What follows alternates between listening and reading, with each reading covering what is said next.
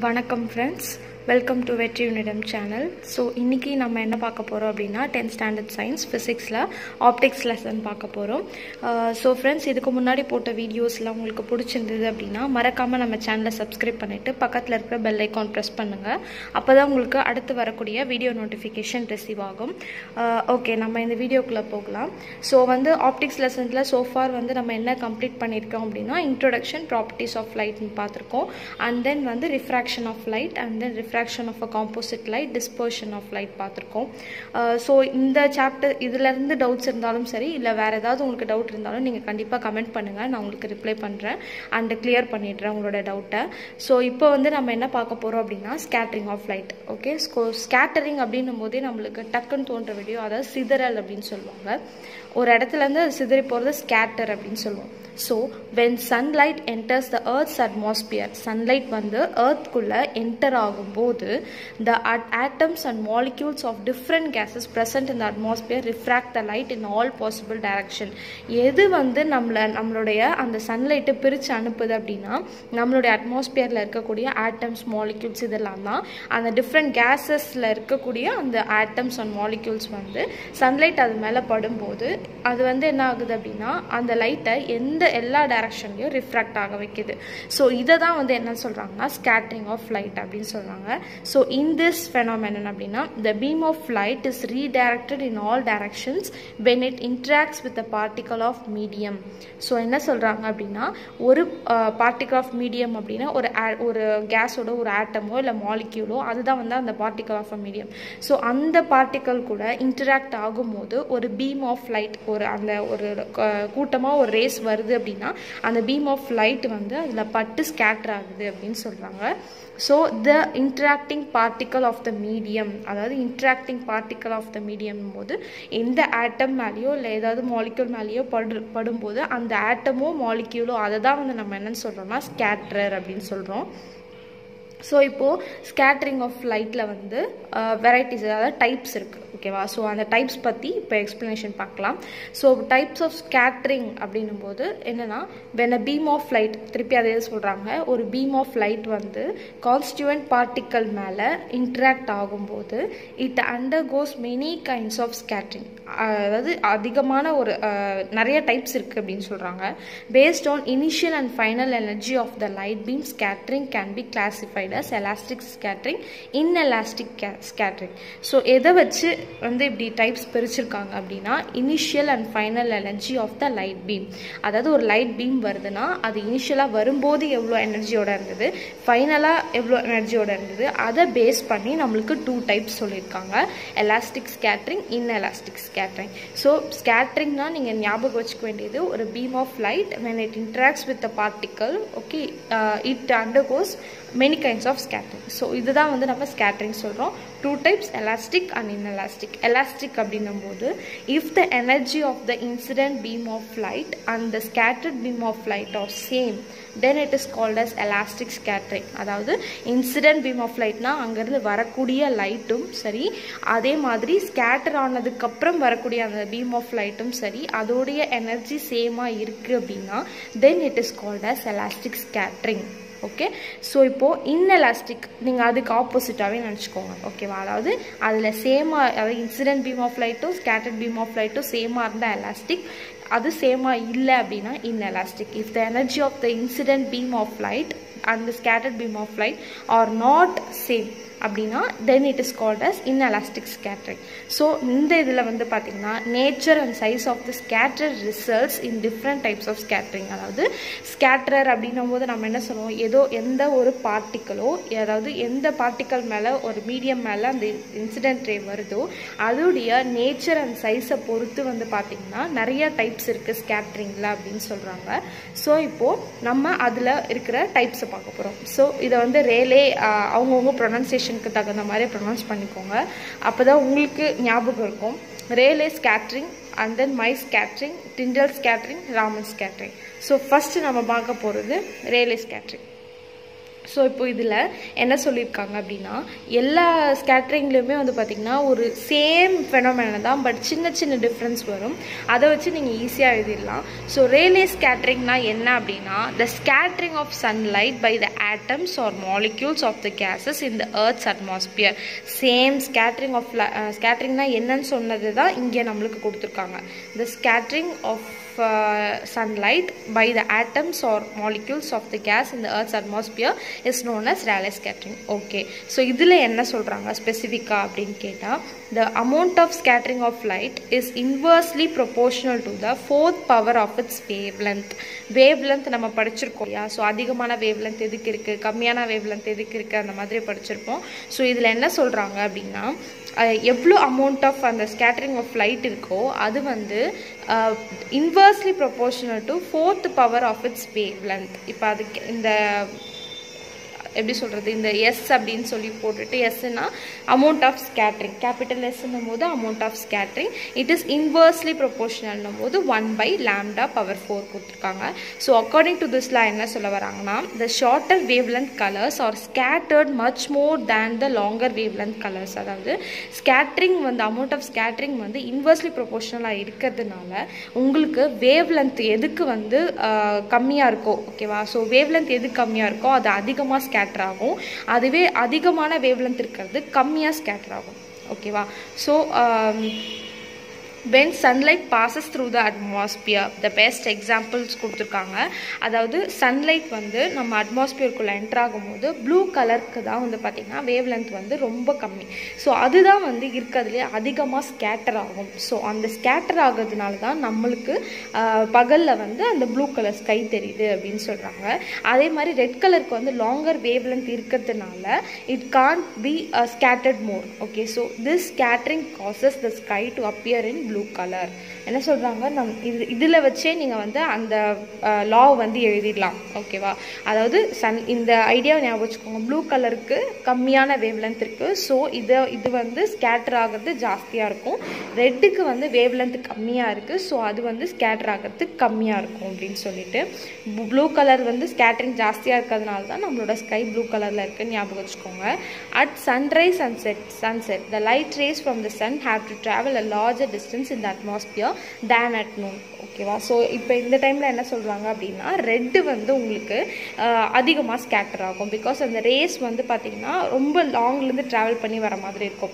So அதனால் வந்து பார்த்திங்கன்னா இந்த ப்ளூ லைட்ஸ் வந்து ஸ்கேட்டர் ஆகிறது அவேவாக போயிடும். அண்ட் தென் ரெட் லைட் மட்டும் வந்து பார்த்திங்கன்னா அந்த லீஸ்டாக இருக்கக்கூடிய அந்த ரெட் லைட் மட்டும் நம்மளுக்கு தெரியுது. அதனால தான் சன்ரைஸ் அப்போவும் சன்செட் அப்போவும் நம்மளுக்கு ஸ்கை வந்து அந்த சன் வந்து பார்த்திங்கன்னா ரெட் கலரில் தெரியும்.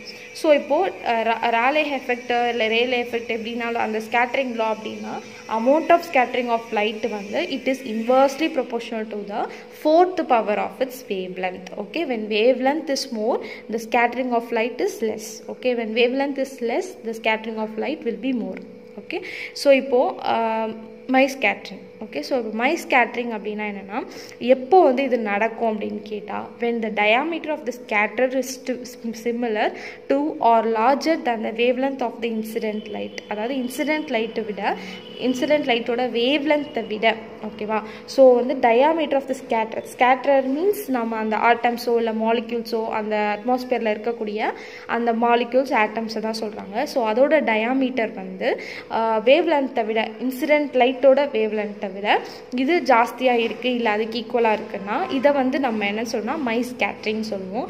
இதுவும் வந்து எலாஸ்டிக் ஸ்கேட்ரிங் அப்படின்னு தான் சொல்கிறாங்க the amount of scattering is independent of wavelength அதாவது இங்கே வந்து அமௌண்ட் ஆஃப் ஸ்கேட்ரிங்க்கும் வேவ்லென்த்துக்கும் சம்மந்தம் இல்லை அப்படின்னு சொல்கிறாங்க so Mie scattering is caused by pollen dust smoke water droplets and other particles இந்த lower portion of the atmosphere இவங்க அப்பர் போர்ஷனை பற்றி பேசவே இல்லை. அதாவது lower portion of the atmosphere என்ன? அதாவது டஸ்ட் இருக்கும் இல்லையா? நம்ம இங்கேருந்து ஏர்த்லேருந்து அனுப்பக்கூடிய அந்த ஸ்மோக்கு இதெல்லாம் தான் வந்து பார்த்திங்கன்னா இந்த ஸ்கேட்ரிங் ஆஃப் லைட்டை முடிவு பண்ணுது. ஸோ வேவ் லென்த்துக்கும் அமௌண்ட் ஆஃப் ஸ்கேட்ரிங்க்கும் சம்மந்தம் இல்லை. So Mie scattering is responsible for the white appearance of the clouds இது எதுக்கு யூஸ் ஆகுது அப்படின்னு கேட்டால் க்ளவுட்ஸ் வந்து நம்மளுக்கு ஒயிட்டாக அப்பியர் ஆகுது அப்படின்றதுக்கு இதாக ரெஸ்பான்சிபிளாக இருக்கான். Because when white light falls on the water drop all the colours are equally scattered which together form the white light அதாவது எல்லா கலர்ஸுமே ஈக்குவலாக ஸ்கேட்டர் ஆச்சு அப்படின்னா then it will form the white light okay so இப்போ இதில் வந்து சிம்பிளாக நீங்கள் புரிஞ்சுக்க வேண்டியது என்ன அப்படின்னா இது வந்து டயாமீட்டர் ஆஃப் த ஸ்கேட்டரர் வந்து உங்களுக்கு இன்சிடென்ட் லைட்டோட வேவ் லென்த்தோட ஈக்குவல் ஆர் வந்து பார்த்திங்கன்னா அதிகமாக இருக்கும். அப்படி இருக்கும்போது இதை வந்து நம்ம மை ஸ்கேட்ரிங் அப்படின்னு சொல்லுவோம். இதில் அமௌண்ட் ஆஃப் ஸ்கேட்ரிங்க்கும் வேவ் லென்த்துக்கும் சம்மந்தம் கிடையாது. அண்ட் தென் இது எதனால் ஃபார்ம் ஆகுது அப்படின்னு கேட்டால் pollen dust smoke water droplets அதாவது லோவர் போர்ஷன் ஆஃப் த அட்மாஸ்பியரில் இருக்கக்கூடிய திங்ஸ்னால உங்களுக்கு ஃபார்ம் ஆகும்.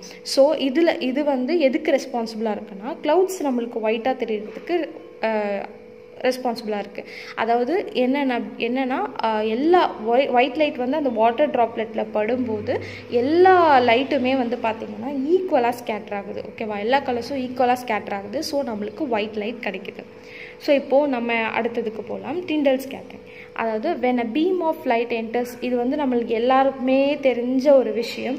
அதாவது நம்ம விண்டோ சைட்லேருந்து பார்க்கும்போது வெளி அதாவது வெயில் அடிக்குதுன்னு வச்சுக்கோங்களேன். உள்ளே நம்ம வீட்டுக்குள்ளே வெயில் அடிக்குதுன்னா அந்த டஸ்ட்டு வந்து அது போகிறது நம்மளுக்கு தெரியும். லைக் நம்ம ஸ்கூலில் கூட நம்ம பார்த்துருப்போம். போர்டு ரப் பண்ணிட்டு நம்ம அந்த சன்லைட் இருந்துச்சுன்னா அந்த சின்ன சின்ன சின்ன பார்ட்டிகல்ஸ் வந்து அழகாக போகிறது நம்மளுக்கு நல்லாவே தெரியும்.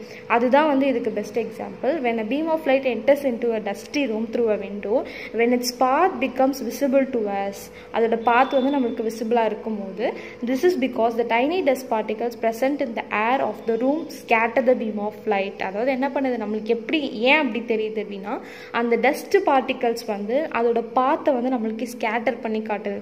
ஓகேவா ஸோ இதுதான் வந்து டிண்டல் ஸ்கேட்டரிங்க்கு எக்ஸாம்பிள் அப்படின்னு சொல்கிறாங்க திருப்பி நான் சொல்கிறேன் when a beam of sunlight okay sunlight வந்து ஒரு டஸ்ட் ரூம்குள்ளே என்ட்ரு ஆகும்போது விண்டோ வழியாக then its path becomes visible to us அதோட பாத் வந்து நம்மளுக்கு அழகாக தெரியும். எப்படின்னு கேட்டால் அந்த டைனி டஸ்ட் பார்ட்டிகல்ஸ் வந்து அந்த ஏரில் இருக்கக்கூடிய டைனி டைனி டஸ்ட் பார்ட்டிகல்ஸ் அந்த பீம் ஆஃப் லைட் வந்து ஸ்கேட்டர் பண்ணுது. ஸோ இதுதான் வந்து டிண்டல் ஸ்கேட்டரிங் அப்படின்னு சொல்கிறாங்க the scattering of light rays by the colloidal particles இந்த colloidal solution is call Tyndall scattering அப்படின்னு சொல்கிறாங்க அதாவது ஸ்கேட்ரிங் ஆஃப்னால் நம்மளுக்கு தெரியும். கொலாடல் பார்ட்டிகல்ஸ் அப்படின்னும் போது இப்போ வந்து டிஸ்போஸ்டு சப்ஸ்டன்ஸ்னு சொல்லுவாங்க. அதாவது துகள்களாக இருக்கக்கூடிய இல்லை பிரிஞ்சு போகிற அந்த மாதிரி சப்ஸ்டன்ஸ் சொல்லுவாங்க. ஸோ அதுதான் வந்து நம்ம டெண்டல் ஸ்கேட்ரிங் சொல்லுவோம் கீழே கொலாய்ட்னா என்னென்னு கொடுத்துருக்காங்க. டூ யூ நோ அப்படின்னு கொடுக்கும்போது அதையும் நீங்கள் வந்து கவனித்து படிச்சுக்கோங்க. பிகாஸ் இட் உங்களுக்கு வந்து அது கொலாய்ட்னா என்ன டிஃபைன் கொலாய்டுன்னு கேட்டால் கூட நீங்கள் இதை எழுதிக்கலாம். அதாவது அதர்வைஸ் வந்து உங்களுக்கு ஒன் மார்க்கில் கேட்டாலும் இது யூஸ்ஃபுல்லாக இருக்கும். Colloid is a microscopically small substance that is equally dispose throughout another material அதாவது அனதர் மெட்டீரியலில் அது மைக்ரோஸ்கோபிக்கல் பார்ட்டிக்கல் தான். பட் அது இன்னொரு பா அனதர் மெட்டீரியலில் வந்து ஈக்குவலி டிஸ்போஸ்ட் ஆகும் அப்படின்னு சொல்கிறாங்க எக்ஸாம்பிளுக்கு milk ice cream muddy water smoke okay so இப்போ வந்து நம்ம ராமன்ஸ் கேட்ரிங் பார்க்க போகிறோம் கேட்ரிங் அப்படின்னும் போது uh, when a parallel beam of monochromatic light passes through a gas or liquid or transparent solid or part of light rays are scattered என்ன சொல்கிறாங்கன்னா ஒரு parallel beam of light parallel means நம்மளுக்கு தெரியும் ஒரே லைனாக வர்றது மோனோக்ரோமேட்டிக்னா சிங்கிள் கலர் மோனோனும் போது single single coloured light என்ன ஆகுதுன்னா ஒரு கேஸ் வழியாவோ இல்லை லிக்விட் வழியாவோ இல்லை டிரான்ஸ்பரண்ட் சாலிட் வழியாவோ பாஸ் ஆகும்போது பார்ட் ஆஃப் லைட் வந்து நம்மளுக்கு ஸ்கேட்டர் ஆகும். இந்த scattering light contains some additional frequencies இதுதான் வந்து இதோட ஸ்பெஷாலிட்டியே அதாவது வரக்கூடிய அந்த வேவ் லென்த்தை விட என்ன இருக்கும் அப்படின்னா அடிஷ்னல் ஃப்ரீக்வன்சி அதில் இருக்கும் அப்படின்னு சொல்கிறாங்க the scatter scattered light contains some additional frequencies or wavelengths ஃப்ரீக்வன்சின்னு சொல்லலாம் இல்லை வேவ் லென்த்துன்னு சொல்லலாம். Other then that of incident frequency அது அது வந்து அதை வந்து ரீச் ஆகும்போது இருக்கக்கூடிய ஃப்ரீக்வன்சியை விட ஸ்கேட்டர் ஆனதுக்கப்புறம் இருக்கக்கூடிய ஃப்ரீக்வன்சி வந்து அதிகம் அப்படின்னு சொல்கிறாங்க எக்ஸ்ட்ரா ஃப்ரீக்வன்சி இருக்கும்.